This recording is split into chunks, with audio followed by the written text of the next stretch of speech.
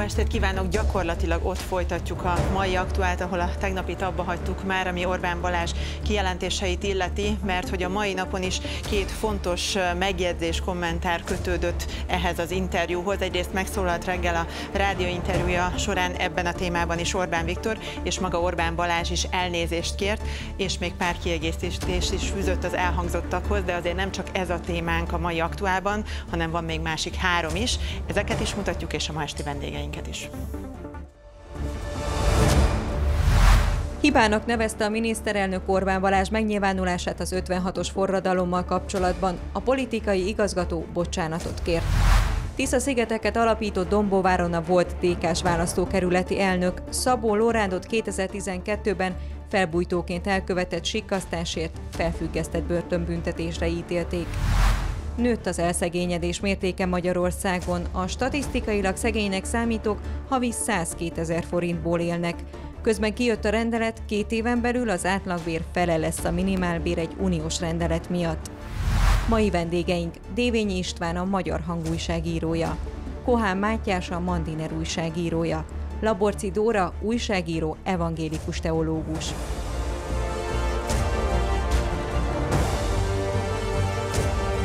Ez az Aktuál. A stúdióban Krug Emília.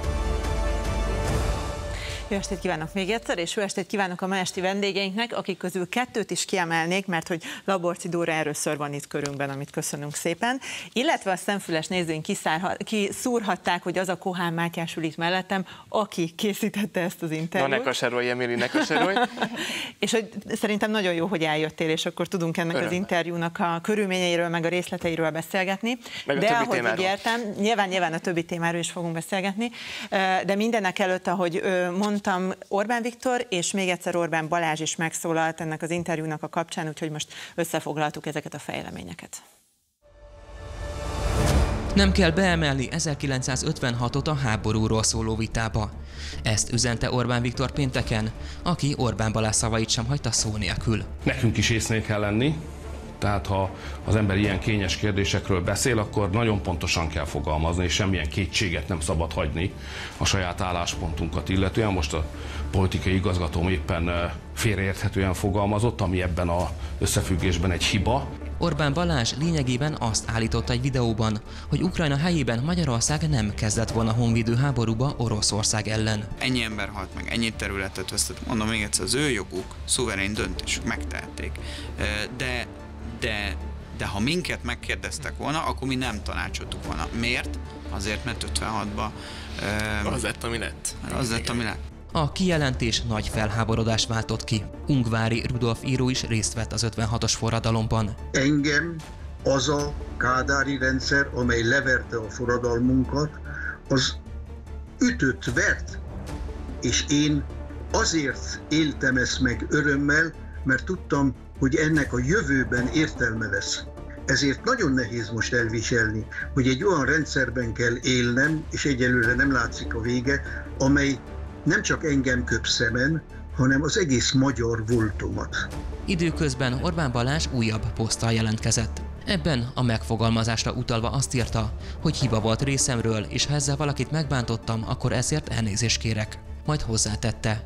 Megerősítem, hogy ha szükség lesz rá, én ott leszek fegyverrel a kezemben a Korvin köznél, utalva ezzel a kormányfő reggeli mondataira. Szerintem nagyon sokakat érdekel az, hogy amikor elkészült ez az interjú, és ez a bizonyos kijelentés, gondolatmenet elhangzott, akkor a te fejedben a piros lámpa nem szólalt meg, hogy ezt most egész pontosan hogy értette Orbán Balázs? Akár csak az országnak az igen jelentős része, én is értettem, hogy mit akar ezzel Orbán Balázs mondani, hogy melyik az a hiba Zelenszky részéről, amire utalt, pontatlanul, ahogy a miniszterelnök is mondta. Ez a hiba nem az volt, hogy 2022. 24-én Zelenszky elnök ahelyett, hogy amerikai repülőre szállt volna és távozott volna Ukrajnából, fölvette a fegyvert, nem erre a hibára utalt Orbán Balázs, hanem arra a felelősségre mutatott rá, hogy minden kormánynak, minden politikai szervezetnek, amely látja, hogy jön egy háború felé, hogy egy agresszor közeledik feléje, annak tennie kell azért, hogy ha lehet, akkor elkerülje az összecsapást. Erre kettő lehetőség is lett volna Zelenszky elnöknek. Az egyik a 2021 végén, 22 elején megérkezett orosz ultimátum, amelyben tartalmazott elfogadhatatlan elemeket, de tárgyalni lehetett volna róla. Kőkeményen nem úgy annyiban hagyni, hogy az oroszok mondták, de megegyezni valamiről annak a kapcsán. A másik lehetőség pedig, és aki szemfüles, az hallotta, hogy Orbán Balázs kettő és fél évet mondott. Kettő és fél évet levonva 24. szeptemberében, az 2022. márciusára vezet az isztambuli békefolyamatnak az időpontja, amit szintén nyugati nyomásra Ukrajna szakított meg, mert nem voltak a számára megfelelők a békefeltételek. Ez szintén egy esély lett volna arra,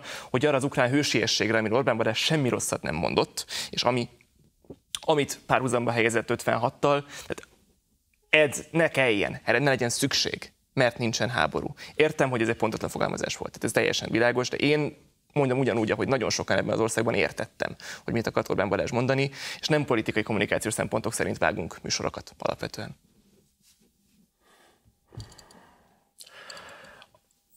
Igen, az a két és fél év az valóban elhangzott, és az valóban erre az isztambuli folyamatra és magára a megegyezési kísérletre utalt, de amit utána mondott, az, az, az szerintem védhetetlen. Tehát, hogy félig igazad van, azt gondolom, de a másik fele, és az a keményebb, és ez a kínosabb fele, az, az meg védhetetlen. Mármint? Hát amit 56-ról mondott, és amit, hogy, hogy, hogy mi másként, meg nem tanácsoltuk volna, és hogy, hogy nem áldozunk fel. És ráadásul ugye nagyon sokan idézték Orbán Balást szó szerint, de most is ebből a bejátszásból lehetett látni, hogy például a, azt nem ő mondta, amit te mondtál. Ez a lett, ami lett. Azt például nem értem, hogy mit jelent. Mi az a lett, ami lett. Hát 56 egy vérbe folytott forradalom volt. A szovjetek folytották vérbe. Igen. És ez egy olyan tapasztalatot ad a magyaroknak, ami alapján a legjobb szívvel és a legjobb szándékkal lehet azt mondani magyarként 56 népéből származva, hogy akinek módja van elkerülni azt, hogy elnyomják, hogy vérbe folytsák, ugye, hogy annak az 56-osoknak nem volt módjuk, azt tegye meg. De ehhez képest, ehhez képest a Orbáni retorika és a NER retorikája másról se szól, csak hogy mi milyen büszke és harcos és szabadság szerető nemzet Mert vagyunk. Sőt, hát Orbán Balázs is most azt mondta, hogy ha szükség lenne rá, akkor ő lenne ott az első a Korvin közben, amit én egy kicsit nehezen tudok elképzelni. A katona De még nem, várj, még egy hadd mondja még. Tehát, hogy ami, ami szerintem áttoltam az egész Orbán Balázsi figurát és a jelenségét, mert ezt a mostani jelenségét is egy ilyen groteszk valamiben. Hát a, a Orbán Balázs legutóbb legutóbb Evok Maciként láttuk a miniszterelnök TikTokján. És akkor, tehát én sok mindent el tudok képzelni. Azt, hogy Evok Maci Orbán ezt nem tud elképzelni. Hát most már tudom, mert Orbán Viktor segített ebben, ugye nagyon sok minden ezért, de, de tehát, amikor már ő mond ilyeneket, hogy ő ott harcolna a Korvin közben, hát de ez mellékszál. De hogy szerintem ez tényleg védhetetlen. Még a, tehát, hogy, hogy értem, mit akart mondani, félig, de a másik fele az, az, az, az baromira védhetetlen. És hát várjál, a doktor miniszterelnök úr mondta, hogy nem stimmel a dolog. A politikai kommunikációs értelemben az, hogy én itt vagyok és erről beszélgetünk, az bizonyítja, hogy ez egy nem jól sikerült mondat. De azt akarom csak mondani, hogy az egyén felelőssége a hősiesség, és az egyén dicsősége a hősiesség. Az állam meg az állami vezetők felelőssége meg az, hogy ha tudnak tenni az ellen, hogy háború legyen, akkor tegyék meg. És ebben volt hiba, azt gondolom. Hát, részéről. van itt egy bizonyos Vladimir Putyin, aki tudna tenni. Így van, ő is tudna tenni. Én azt gondolom, hogy, hogy igen, kellemetlen volt szerintem ez a, így, nézni a, a beszélgetés, beszélgetésben és hallgatni ezeket a mondatokat, mert hogy egy megalkuvó pozíciót vesz föl, és ugye Orbán Viktor maga is visszatérő módon ezt a szívünk és gerincünk 56, ugye faludi idézetet mondogatja előszeretettel, és azt gondolom, hogy elég kevés olyan téma vagy gócpont van a magyar identitásban és közéletben, ami ilyen egyértelmű, mint 56-nak a megítélése, és az egy, az egy egy demokratikus értékek mellett, egy szuverenitás mellett kiálló, az, az elnyomó hatalmat ledobni vágyó magyar ember képe, amivel szerintem legtöbben azonosulni tudunk, és ezzel szemben az Orbán Balázs mondatai egy hát védhetetlenül megalkuvó pozíciót teremtettek a hős narratívával szemben, amiben egyébként maga Orbán Viktor is ugye felépítette az 56-os retorikáját, és ezért látszik az e körül kialakult mentési kísérletekben is, hogy, hogy nagyon megbonyolódik, és nagyon kellemetlenné válik az egyébként nagyon egyszerű és fekete-fehér kormányzati retorika, tehát ugye a háború és béke mi ők retorikájára alapulva, ebben most egy kicsit így belebonyolódtak. Ezt most már nem lehet egyszerűen tisztázni. Én kiderült, hogy valójában a magyar közvélemény nem szeretne több mint egy bájtos üzeneteket hallani a Fidesztől, csak hogy ezt kicsit cinikusan megjegyezhessen, de valóban abban az irányban értelmezték félre ezt a mondatot, és nem is volt nehéz így félreértelmezni, amit elővezettél. És én a egésznek a politikai kommunikációs szerencsétlenségét azt ebben látom, hogy könnyű volt így félreértelmezni. És nyilván akinek politikai szándéka volt ebben, mint az nem keveseknek volt, hát a Fidesz első számú politikai ellenfelének volt ebben nagyon komoly politikai szándéka, az megtette, nem volt nehéz félreértelmezni ezt. Csak szeretném jelezni azt, hogy ha van valami, amit itt nem gyalázott meg Orbán Balázs, és ha van valami, amit nem tagadott meg, és nem nevezett hibának, az a hősiesség. És az, hogy az ember fogja a fegyvert és védje meg a hazáját, hogyha erre, erre, erre kerül a sor. Amiről szó volt, az a politikusok felelőssége abban, hogy megakadályozzák azt, hogy a hősiességre szükség legyen. Ez egy borzasztóan fontos kérdés. És a másik felvetődő probléma az, az, hogy kell-e 56-ot bármilyen módon párhuzamba hozni az ukrajnai háborúval, és érdemesebb lett volna nem párhuzamba Na de hozni, 56, ahogy is mondta. És az ilyen történelmi helyzetek azért jönnek létre, mert a politikusok nagyon sok más funkciót nem látnak el, amiben az állampolgárok már oly mértékig diszkomfortosan, vagy elveszve, vagy elnyomottan, vagy szegénynek érzik magukat, már nincs mit veszteniük. Igen. Igen. Tehát, hogy itt a vezetők felelőssége az ilyen helyzetekben nem feltétlenül érv. Hát Ukrajna egy ország, szuverén ország vezetése van, 56-os forradalmáraink ebben azért nem teljesen hasonlítanak Ukrajnára. Igen. Hogy így két-három lépést hátrébb lépve én azt látom, hogy, hogy a Fidesz egy kicsit szétcsúszott az utóbbi időben. Hát itt botrány követ botrányt, hibás kommunikáció követ hibás kommunikációt, és az egy érdekes, hát talán talán érdekes folyamat, hogy mennyire nem tud váltani a Fidesz. Tehát itt is most az történt, ami, ami eddig mindig történt. Hogyha van valami baki, van valami hiba, van valami bűn, akkor, akkor jön egy ilyen, ilyen nagyon keményen visszavágok, és nagyon keményen oda csapok, és akkor megint nálunk van a kezdeményezés. És ugyanezt történt most is, ugye megjelent ez a beszélgetés, amit készítettél a, a Orbán Balázsjal, megjelent ez a rész, elindult a botrány, és nem, nem az volt, hogy, hogy nagyon sajnáljuk és elnézést kérünk, hanem az első órák reakciója az az volt, hogy na a mocskos háború párti baloldali média összefogott Török Gáborral és összefogott Magyar Péterrel. Én ezt fogtam a fejemmel, ugye a magyar hangot is megemlítettétek ott a Mandineren, hogy, hogy a baliberális, vagy a baloldali magyar hang összefogott Magyar Péterrel is támadja Orbán Balázsnak. Tehát, hogy, hogy ez már nem működik. Tehát, hogy nekem az a furcsa, hogy hogy a Fideszben ezt nem veszik észre. És ugye Köcsén beszélt valamit ilyesmit Orbán Viktor, hogy váltani kell, mert a régi sémák már nem igazán működnek.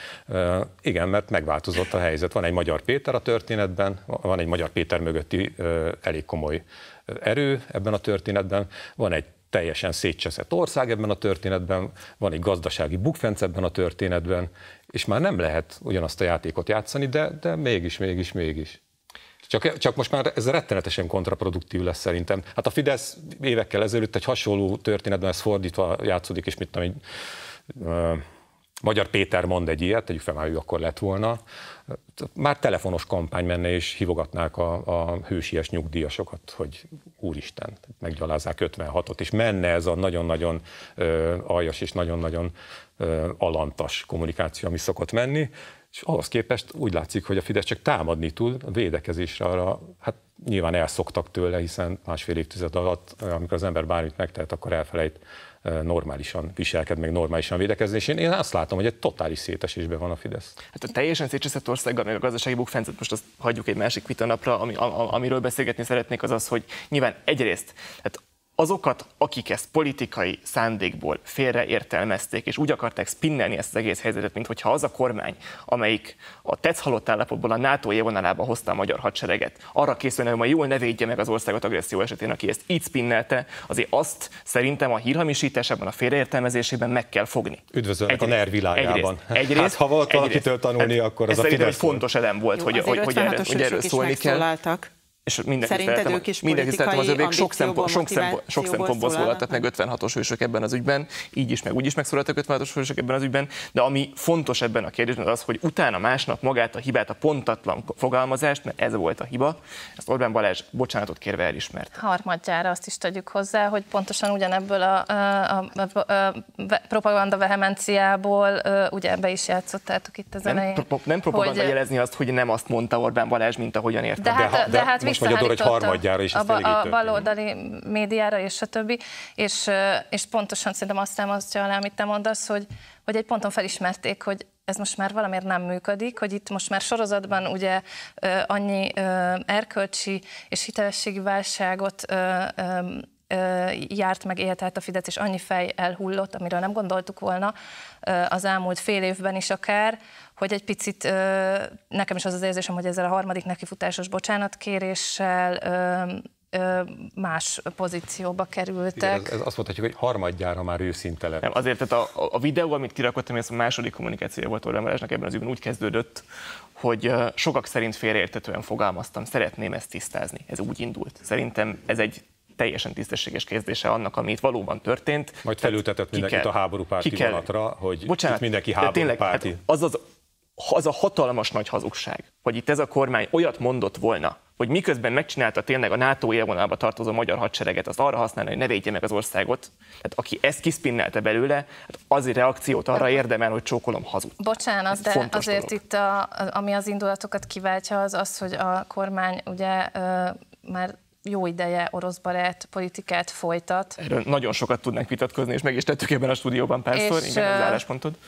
Um, és értem azt is, hogy nagyon eltávolító a párhuzam, tehát hogy itt is többször előkerült, hogy ugye nem mossuk össze 56-ot az ukrajnaiakkal, de hát azért, ha már ugye egyszerű üzenet és egyszerű kommunikáció azért az emberekben, ez fölmerülhet, hogy mégiscsak van egy nagy Oroszország és egy szuverenitássáért küzdő állam, én nem akarok ebbe ennél jobban belemenni, de hogy azért a párhuzam sem egy nagyon elrugaszkodott Hát egy forradalom, meg egy proxy háború, tehát tényleg én sem tartom szerencsésnek azt, hogy ez, ez, ez, ez így egy helyre lett téve. De hát a beszélgetésben is ilyen kontextus. Én mondom, nem tartom elő. szerencsésnek. Megvan a következő podcast felvétel időpontja Orbán Balázsra? Szerintem föl is van véve már új része a stratégiai részeknek, de nem erről nem beszélünk benne. Föl? Szerintem lesz, persze, miért ne lenne? Hát mert ugye azt... Ki, ki csinálja?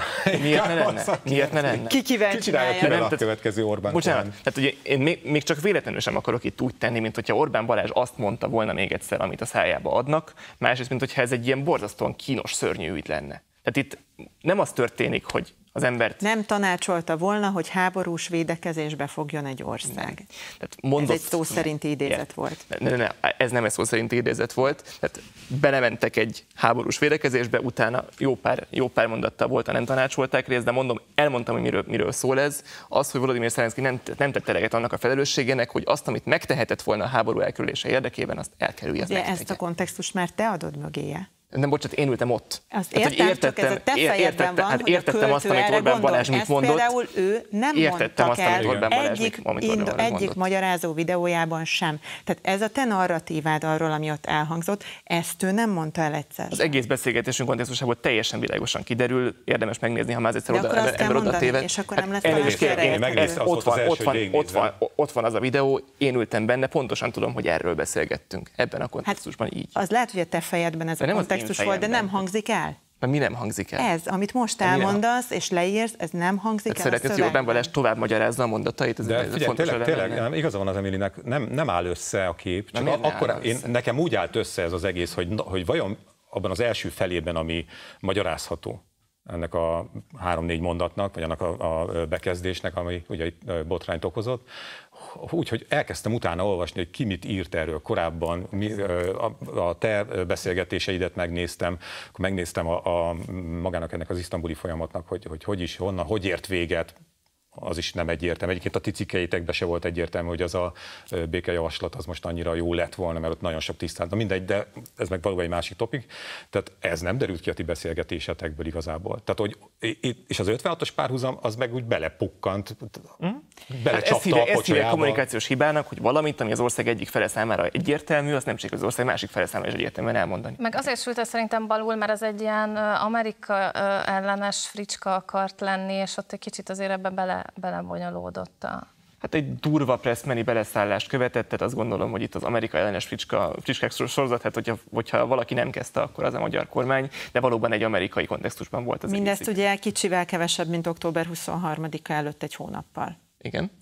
Sokak szerint ez mondjuk megnehezíti majd a Fidesz számára például az ez évi, de akár a következő évi megemlékezéseket is. És ide kapcsolnám azt az előbb levegőben hagyott kérdésemet, hogy megvan a felvétel időpontja és mikor, mert ugye nagyon sokan pedzegetik azt, hogy ez a kérdés ezzel lezárult-e, vagy, mint ahogy sokan mondják, hogy már zajlik nyilván egy közvéleménykutatás, mint ahogy egyébként nagyon hasonló folyamatok történtek Novák Katalin lemondása idején is, hogy Orbán Viktor gyorsan megszólalt, utána mértek, mértek, hogy a kemény magot ezt hogy éri el és hogyan érinti, és aztán pár nap múlva történt egy lemondás, akkor is a Fidesz politikájának velejét érő kijelentés és ideológia sérült a családbarát gyerekvédelem kapcsán, és most is a szuverenitással kapcsolatban. A kegyelmi ügyet ehhez hasonlítani, ezt én egy elég meredek párhuzamnak tartom. Elég nehezen, lehet, elég, elég nehezen lehet bármit hasonlítani erkölcsi súlyában a, a kegyelmi ügyhöz. Én azt gondolom, hogy ez... Szuverenitás védelme elnézést kérek, a szuverenitás védelmének azért ott van a Fidesz azzal kapcsolatban semmiféle negatív kijelentés nem hangzott el.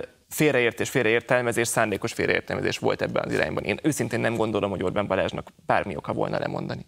De nem is fog nyilván. Tehát a, olyan szempontból, én értem a, a Emilinek a párhuzamát, hogy itt a, a politikai dimenzióban a kommunika- és a kommunikációs részben van párhuzam a kegyelmi ügyel, és nem nyilvánvaló, nem a morális, nem az erkölcsi. van szó, nem maga de hogy, de hogy az Orbán Balázs azért ő nem egy olyan kirakat figura, mint mondjuk egy köztársasági elnök. Most Ja nem, azt hiszem, hogy hirtelen megsértettem a köztársasági elnököt, de nem. Szóval nem egy kirakat figura, mint a köztársasági elnök. Tehát nincs annyira, nincs annyira előtérben most, hogy a miniszterelnök politikai igazgatója, és akkor lemond, és akkor lesz belőle a miniszterelnök stratégiai igazgatója mondjuk. Tehát, hogy szerintem...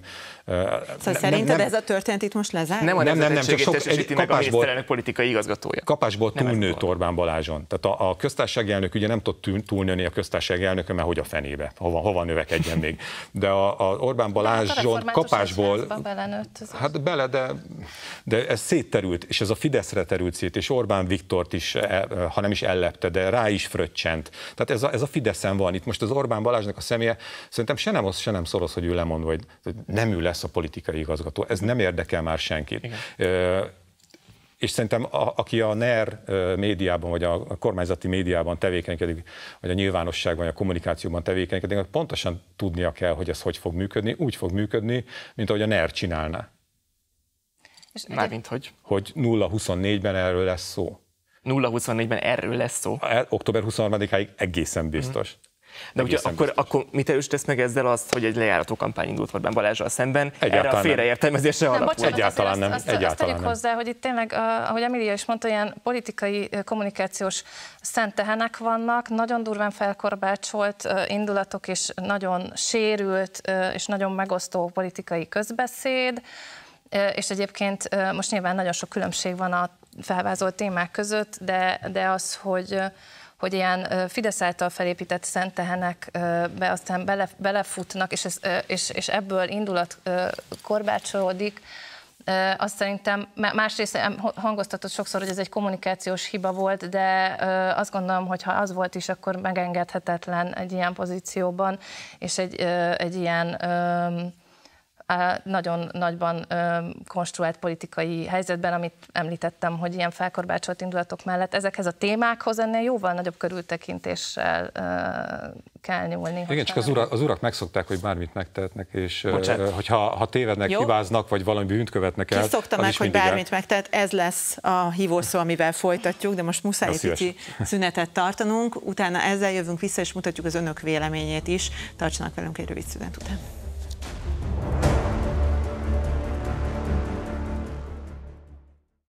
Folytatjuk is az aktuált, és ahogy ígérem szó szerint onnan, hogy az urak megszokták, hogy bármit megtehetnek, itt hagytad abba. Igen, de közben az jutott eszembe, hogy talán fontosabb, amit előtte mondtunk egymásnak a Mátyással, hogy én ott elmondtam, hogy mi várható a politikai kommunikációban, és erre te azt mondtad, hogy ez is azt bizonyítja, hogy egy lejárató kampány folyik. Orbán Balázs ellen szó nincs erről, hiszen én is azt mondtam az elején, hogy a 56-ról mondott gondolatai azok védhetetlenek, és nyilván, hogy erről fog szólni a kommunikáció. Tehát ez nem egy lejárató, hát a, a védhetetlen uh, hibával nem lehet lejáratni valakit, hiszen már lejárat a saját magán. Hát én azt gondolom, hogy szándékos félreértelmezést folyamatosan a végtelenség a politikai kommunikáció tárgyává tenni, az egy lejárató kampány, az ízlésünk ebbe különbözhet. Jó, akkor én még onnan folytatnám, mert az is elhangzott az előző ö, részben, hogy hogy akkor ezt mennyire fogja a, a Fideszen kívüli nyilvánosság tolni ezt az ügyet.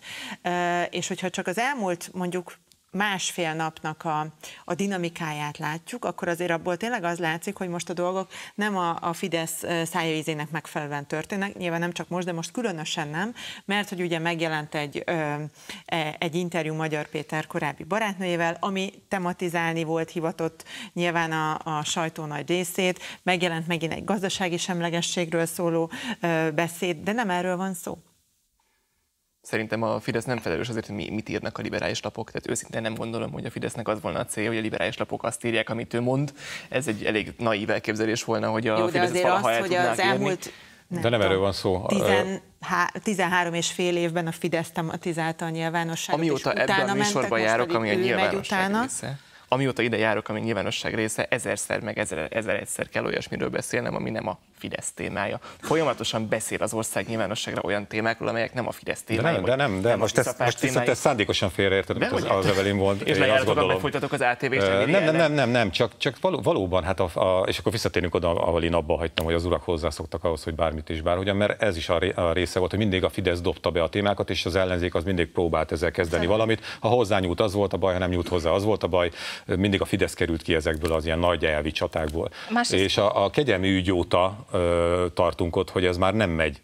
És most pont az történt. Egyébként én gondolkodtam ezen a, hogy Főgel Evelin, ugye? Uh-huh. Fogel. Fogel, Fogel, bocsánat. Fogel. Evelin interjún, mert nem nagyon értettem, hogy ez most hogy pukkan így bele a semmiből, így a, a nyilvánosságba, és miért pont és miért, és nem, nem tudtam hova rakni, hiszen Evelin nem mondott olyan nagyon erős dolgokat, amitől valami új Magyar Péter kép rajzolódott volna ki. Tehát nem tudtam ezt hova tenni, egészen addig még ki nem derült, hogy aztán Magyar Péter megy a közmédiába.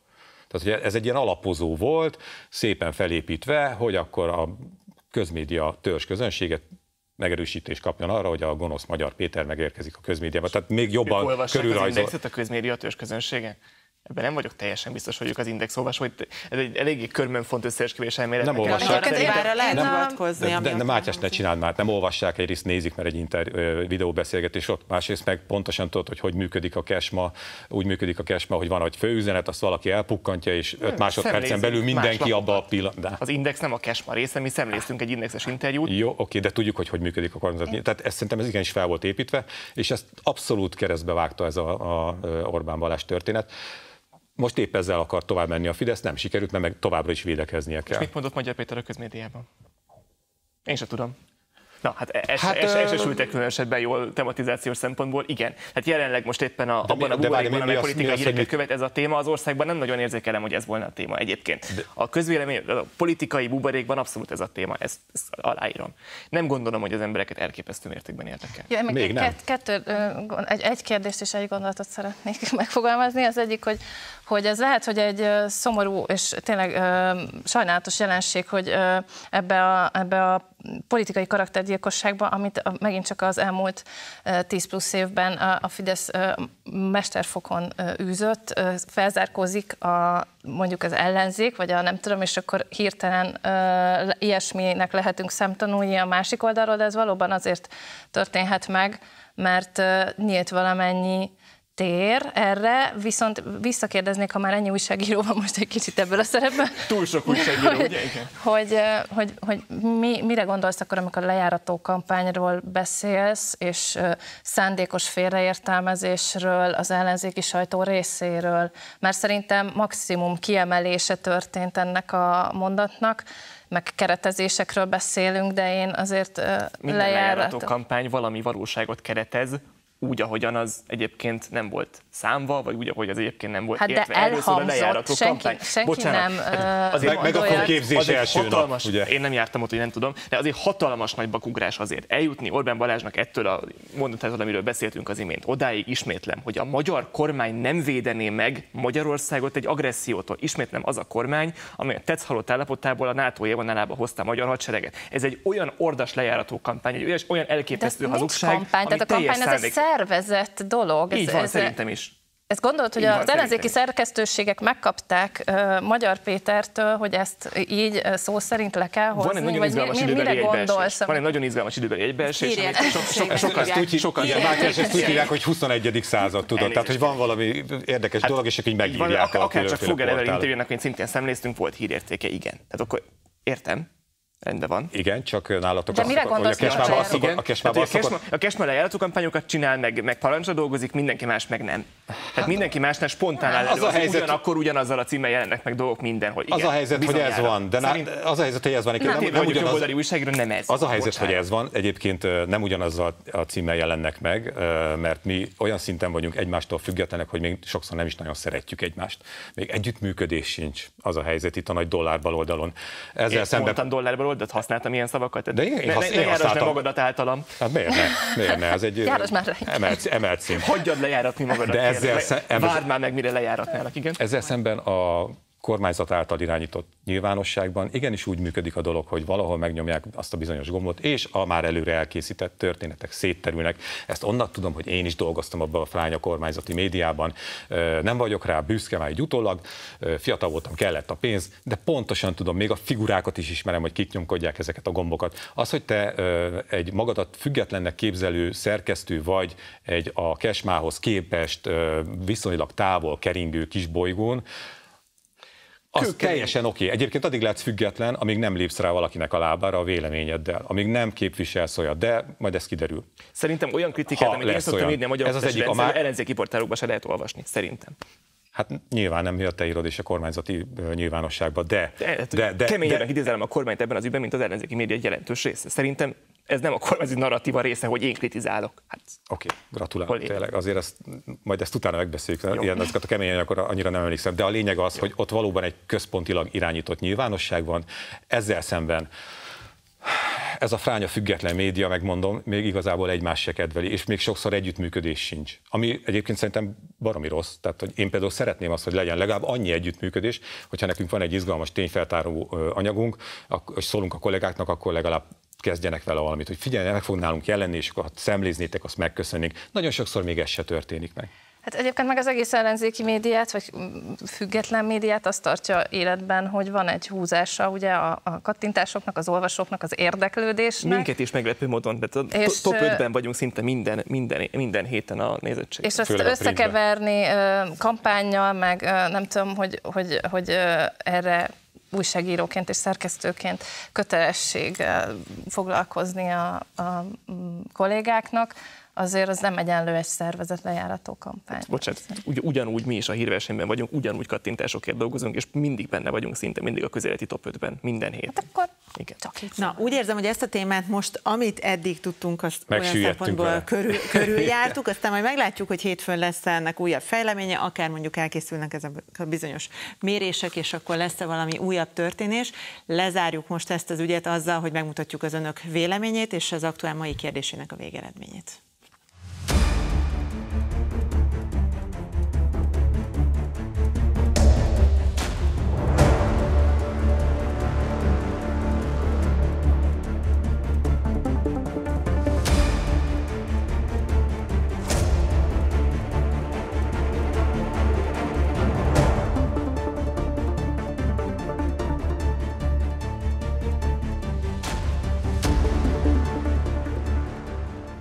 Az aktuál mai kérdését mindjárt látni fogják, és a végeredményt is. Nyilván ezzel a témával függött össze. Az volt a kérdésünk, hogy önök szerint Orbán Balázs megfelelően tisztázta a kijelentéseit, és ahogy láthatják is, a nézőink 95%-a nem volt elégedett, vagy nem, volt, nem találta kielégítőnek a magyarázatot, és 5%-a mondta azt, hogy szerinte igen. Elég sok komment is érkezett ehhez a témához, úgyhogy most ezekből szemezgettünk, és majd szerintem önöknek ismerős nevek is lesznek a kommentelők között. Roland például úgy fogalmaz, hogy csak abba gondoljon bele mindenki, hogy mi lenne, ha ezt egy ellenzéki politikus nyilatkozta volna. Katalin szerint nem, nem tisztázta megfelelően, ebben az országban következmények nélkül marad ez is, és akkor az egyik ismerős név Kóros Lajosé. Ő úgy fogalmazott, ugye az MSZP politikusáról van szó, hogy Orbán Viktor szerint Balázs ott harcolna a Korvin közben, én ezt el is hiszem neki, csak azt nem tudom, hogy melyik oldalon. És a másik ismerős név pedig Pusztai Erzsébeté, aki úgy fogalmaz, Orbán Balázs tisztázta, hogy mit jelent a kormány békepártisága. Az eddigi szövegeik is ezt jelentik, nem kell támogatni, nem kell fegyvert küldeni Ukrajnának, béke kell. De nem az agresszornak kell abba hagyni, most kimondta, hogy az ukránoknak kell megadni magukat, ez a békéjük. És még két vélemény, András úgy fogalmaz, Orbán Balázs soha nem mert volna így fogalmazni, ha a háttérbeszélgetések nem így zajlanának a vezetők között. László szerint ez egy buta kérdés, köszönjük, ezt nem lehet tisztázni. És akkor innen egy másik témával megyünk tovább, mert hogy a 24.hu írt részletesen arról a fordulatról, ami szerint egy korábbi a városban fontos DK-s politikus Tisza szigetet alapított Dombováron. Mutatjuk ennek az ügynek is a hátterét. Tisza szigetet alapító Dombóváron a volt DK-s választókerületi elnök írta meg a 24.hu. Szabó Lórend a város egykori polgármestere azt mondta, a Tisza sziget megalapításával a fő céljuk, hogy leváltsák a fideszes klientúrát. Szabót 2012-ben felbújtóként elkövetett sikasztásért felfüggesztett börtönbüntetésre ítélték, de előzetes mentesítést is kapott, így nem számít büntetett előéletűnek. A Tisza párt azt közölte, a Tisza mozgalmi bázisát jelentő egyesülések esetében nem firtatják az alapító politikai módját. A hírre reagált Nacsa Lőrinc, a KDNP képviselője is, mint fogalmazott, Magyar Péter hazudott. Dékás volt polgármester szervezi neki a pártot Dombóváron. Magyar Péternek Gyurcsány nem probléma. És akkor ma estére tisztában látunk, hogy milyen kritériumoknak kell megfelelni azoknak, akik a Tiszához, mint párthoz, illetve az említett Tisza szigetekhez csatlakozni akarnak, mert hogy erről posztolt nemrég Magyar Péter a kritériumok. Szándékos bűncselekmény elkövetéséért elítélt emberek nem csatlakozhatnak, parlamenti pártok volt és vagy jelenlegi országgyűlési képviselői, képviselőjelöltjei, továbbá kormánytagok, államtitkárok 20 évre visszamenően, olyanok, akik az MSZNP vagy a rend rendszerváltás előtti állambiztosság bármelyik ügyosztályának vagy a munkásőrségnek tagjai voltak. Mindenkit írásban nyilatkoztatnak arról, hogy megfelel-e ezeknek a feltételeknek. Ha kiderül, hogy nem valótlan volt a nyilatkozat, akkor kizárják az illetőt. Mennyivel vagyunk beljebb ezekkel a kritériumokkal, hogy ezt így tudjuk, illetve mennyire nehezíti meg a saját maga dolgát Magyar Péter ezzel a pártépítésben, meg a mozgalomépítésben? Ez egy népszerű kérdés volt. Még egyszer. Várt, hogy hát, ha valaki... Nyilván, nyilván evidens az, hogy bűncselekményt elkövetők, ez oké. Okay. De mondjuk azt, hogy képviselő jelöltek sem lehettek az elmúlt húsz évben. Hát, Erre ugye ezt nagyjából úgy szoktunk megfogalmazni, hogy van egy országnak két elitje. Le lehetett cserélni az eddig. A szándékot érteni, azt azért sejtettük előre, hogy a pártépítés az nem lesz egyszerű. Ugye amikor tényleg ilyen, ilyen one man showként ment a kampány az európai parlamenti választások előtt és a helyhatósági választások előtt a, a TISZA pártban, akkor nagyon sokat beszéltünk arról, hogy, hogy igazából akkor derül majd ki, hogy mekkora erő is ez a TISZA párt, amikor valódi pártá kell válnia. És ez most jött el ez a, a idő. Az, hogy, hogy ilyen opportunista figurák fel fognak tűnni egy e, sikeresnek tűnő, akár győzelemig is eljutó párt mellett, hát azért ezt azt gondolom, hogy nem lett meg senkit. És valahogy mindig ezek az ilyen MSP, SDS, DK úton keresztül érkező figurák szoktak itt megjelenni. Hát már maga az MSP, SDS, mint keltető, az, az egy ilyen bizalomgerjesztő. Nem tudom, hogy hogy fog ez működni, de valamit tenniük kell, az egészen biztos. Hát ha belegondolunk, hogy a, a önkormányzati választásokon a megyei közgyűlésekben is azért nem indult el a Tisza párt, mert nem tudták volna még szűrni, hiszen nem volt rá apparátusuk, nem volt rá emberük. Nagyon nehéz lehet egyébként, nem egy Budapesten szerveződő, még hogyha EGRI is a párt, de egy Budapesten szerveződő mozgalomnál valahogy kiszűrni azt, hogy nem tudom, három megyével odébb egy kis településen most valaki azt mondja, hogy most ő akkor Tisza szigetet alapít, mondjuk erről a figuráról azért lehetett tudni, hogy kicsoda ő, és utána akik beáramlanak, ez a néppártosodásnak is egyébként az egyik ilyen problematikája szokott lenni, vagy a Fidesz ilyen szempontból szerencsés helyzetben volt az elején, mert hogy ők ott a kollégiumban egymás között meg tudták ezt oldani. De most az itt ismertetett kritériumok akkor azt jelentik, hogy ez a Dombóveri polgármester mégsem alapíthat ilyet? Vagy igen. Ennek most nem, nem ismerjük a... Országgyűlési képviselő. Ugye ő nem volt azért az, ha jól próbálom lepörgetni a, a az életrajzát, tehát hogy parlamenti pártok országgyűlési képviselői, vagy képviselőjelöltei, jelöltei, kormánytagok, államtitkárok. Tehát ez az a szint, ami nem.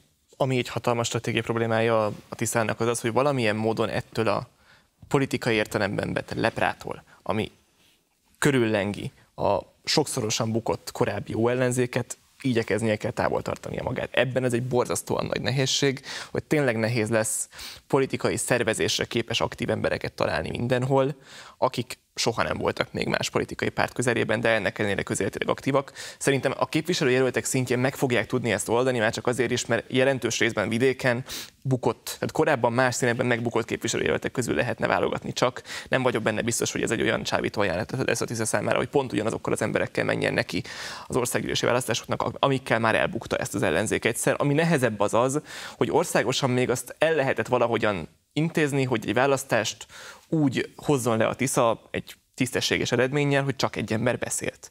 Tehát a, azóta még Tarzoltánnak meg Kúja Andrásnak van engedélye beszélni, de pontosan látszik abból, hogy a közmédia meghívásának mennyiben nem tesznek eleget a TISZA szakpolitikusai, Gerzsanyi Gabriella vagy Dávid Dóra, hogy senki másnak egyébként még nem lehet nyitva a szája. És azért helyben nyerni úgy, hogy az ember nem nyitja ki a száját. És nem mondod esetben nehéz, nehezen vállalható, az óellenzékhez kötődő, a helyieknek nem tetsző mondatokat, ez azért nehéz. Tehát az, hogy helyben se beszéljenek, és úgy nyerjenek egyéni közötteket, amin a választás múlik, ezt azért elég nehéznek Jó, gondolom. Hogy nyilván egyébként a mi dolgunkat nagyon megnehezíti, mert nyilván mi is hívunk tisztás politikusokat. Hm. Egyébként ebbe a műsorban Ami is. antidemokratikus, és nincs rendben, hogy nem jönnek Viszont azért ez nem azt jelenti, hogy majd a 26-os választási kampányban se tudnának. Nagyon remélem, hogy nem részt ezt venni. jelenti.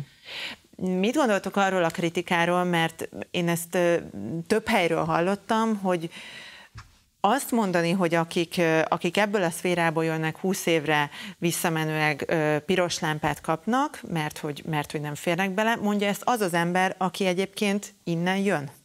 És mondjuk egy éve még ennek a 20 éve fennálló elitnek a tagja volt. Csak másik oldalról. Nem fizette a tagdíjat, nem volt Fidesz tag, úgyhogy Jó, mentesült. Szóval van, van itt egy kettős mérce, vagy nincs? Én, én nekem az első gondolatom az volt, nem, nem kicsit kitérek a kérdés. Micsoda profi vagy már rögtön De- de- első adásod. Nagyon jó. De részben azért kapcsolódik, hogy, hogy Jó, igen, hogy megjegyzem, majd visszatérünk. olyan, rá. olyan, de kapcsolódik azért, tehát, hogy, hogy ez egy benyomásom, tehát hogy, hogy olyan erkölcsi, morális hitelválságba, mármint hogy hitelességválságba kerültek a... És is azért. Igen, az ország, de a politikusok hitelességválságban, hogy, hogy hogy itt már egy kis sikkasztás, tehát hogy valahogy azt érzem, hogy olyan, olyan magasra lett ez a, ez a mérce, vagy inger tolva, vagy szélesre, hogy már, már az embereknek az inger küszöbét egy kis sikkasztás nem éri el, és talán úgy nem, nem jó, hát akkor igen, helyben lehet, hogy több politikai tőkét tudunk vele kovácsolni. Ez most senkit nem ment fel, ez mondom csak egy ilyen benyomásom az ország erkölcsi állapotáról, vagy arról, hogy a, mit feltételezünk a szavazó polgároknak a, az inger küszöbének, tehát hogy így. Na, A kettős mérce. Közben így gondolkodtam rajta, hogy ez szerintem ez egy érdekes helyzet, mert a Magyar Péter eredet történet az valóban az, amit, amit mondtál, de neki a szavazóbázisa és a szimpatizánsai ezt nem, hogy megbocsájtották, hanem miközben a Magyar Péter közéleti karrierjének elején még néha azt is gondoltuk, hogy neki ez hátrány lesz, hogy ő a Fideszből jön, pont ezért, hogy hát, hát mégis akkor. Kiderült, hogy ez lett az, az egyik legerősebb fegyvere hiszen azt mondták az ő szimpatizánsai, választói, hogy, hogy ha onnan jön, akkor ismeri, hogy ott mi történik. Ő tudja, tehát neki megvan akkor az ellenszere is. Tehát egy benfentes figura emelkedett ki, neki megbocsájtották. Sőt, de nem bocsátanák meg, vagy nem fogadnák el, hogyha több ilyen figura így elkezdeni itt ott, ott feltűnni. Tehát, hogy szerintem ez itt, itt ez nem kettős mércének mondanám, hanem ez egy nagyon furcsa politikai helyzet, amit így kezel a társadalom, a Tiszapártnak a szavazóbázisa. Az egyik, a másik meg az, hogy itt is van egy ilyen győzteshez való húzás, bár ugye a Tiszapárt nem nyert választást, de az ellenzéken belül mégiscsak nyert. Ugye egy nagyon erős, nagyon komoly erőlet. Tehát eh, én azon se csodálkoznék egyébként, hogyha szép lassan a Fideszből, a Fidesz környékéről is elkezdenének oda szivárogni emberek. Volt fideszesek, vagy legalábbis próbálkoznának, de hogy ilyen informátorok, meg adatok, meg mindenféle dossziék előbb vagy utóbb meg fognak érkezni, ma már eddig nem, ebben viszont biztos vagyok, mert hát a politika környéken azért nem csak tiszta lelkű és őszinte magyar emberek tevékenykednek. Na, ha már itt félig meddig em- említettünk gazdasági témát, még nagyon röviden, de azért megmutatjuk azt az összeállítást is, ami arról szól, hogy hogyan fog majd felzárkózni a magyar minimálbér, és lesz jóval magasabb a tervek szerint, mint ahogy azt most ismerjük. Mutatjuk az összefoglalót. Nőtt az elszegényedés mértéke Magyarországon, legalábbis ez derül ki az Eurostat adataiból. Az úgynevezett szegénységi rés 29,5% volt tavaly, azaz ennyivel maradt el a legszegényebbek jövedelme a mediánbér 60%-ától. Ez egyúttal azt is jelenti, hogy a statisztikailag szegénynek számítók havi 102 ezer forintból élnek. Az adat az Európai Unióban is kirívónak tekinthető, ennél csak Romániában és Szlovákiában mélyebb a szegénység. Mindeközben éjszaka megjelent egy jogszabálytervezet, mely szerint a minimálbérnek el kell érnie az átlagbér felét. Ezzel jelenleg 301 ezer forint is lehetne a minimálbér. Ugye ez nyilván bele, beleillik abba a kormányzati törekvésbe, hogy akkor a, az embereknél több pénzt adni, és a fogyasztást felpörgetni, és ezzel a magyar gazdaságot felpörgetni. Csak ugye kérdés, hogy ezt a magyar gazdaság ki tudja termelni, ezt, meg főleg a munkaadók ezt a minimálbéremelést. Mert és ráadásul ugye, hogyha a minimálbért megemeled, akkor az tolja fölfelé a többi bérkategóriát is. És ebbe belekapcsolnék, hogy és a, a, az összes többi szociális juttatás viszont marad ugyanazon a szinten, tehát itt nekem az első, ami így, ugye bekapcsolt az a családi pótlék 2008 óta meg nem emelt összege. De a családi adókedvezmény meg megduplázódik.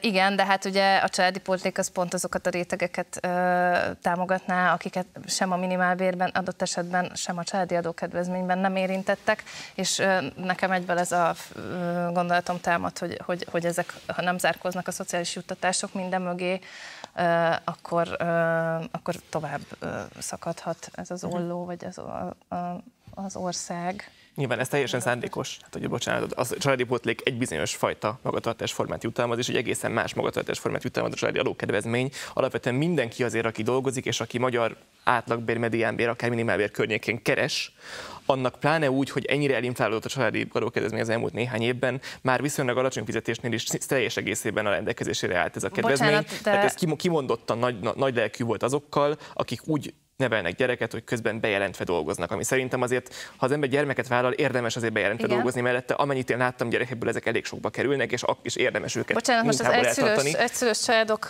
védelmében Azaz. mondom, ami 500 ezer gyereket Azaz. érint, azért egy egyszülős, most tegyük hozzá, hogy az egyszülős családok 90%-ában nők vannak ilyen helyzetben, nem fognak tudni egy vagy x gyerekkel a mai magyar intézményrendszerek nyitvatartási idejében teljes bejelentett állás állásban dolgozni nekik, vagy, teljesen érvényes. vagy rugalmasabb. Tehát ezt mondom, hogy itt a, itt a magatartás formák önmagában, hogyha ilyesmit emlegettünk, akkor, akkor tegyük azt mellé, hogy, hogy itt nem az ingyenélésről van szó, meg azért azt is tegyük hozzá, hogy 12-13 ezer forintos összegekből ez, ez a vád megint csak nem áll. Tehát azt gondolom, hogy itt megint olyan szélsőségesre nyílt ez a, ez a diskurzus, hogy pontosan nagyon sok jól szituált, és egyébként nagyon nehéz helyzetben lévő család számára sincsen háló, vagy szociális, vagy kapaszkodó, hogyha olyan helyzetbe kerül, amilyenbe bármikor bármelyikünk kerülhet. Ott egy rövid végszóra még van lehetőség. Köszönjük, Mátyás. Egyébként azt akartam pont én is mondani, amit Dóra, hogy, hogy az egyszülős családoknál mi a történet, főleg, hogyha például a gyermekek közül a legnagyobb az elmegy egyetemre vagy főiskolára, mert utána megszűnik még ez a nyomorult vagy családi pótlék is. gyerek van. És ezért az a kategória, amit a Fidesz erre kitalált, hogy a, az ingyen élőket nem támogatjuk, ezért a családi pótlékhoz nem nyúlunk, ez, ez egy egészen embertelen, tényleg több száz ember, több száz ezer magyar állampolgárral szemben. Mind a minimálbér, mind a családi mindenkire érvényes dolgok. Akárhogyan vannak bejelentve. Mind a, minden, mind a két embercsoportnak lesz ebből haszna, nem is kicsi.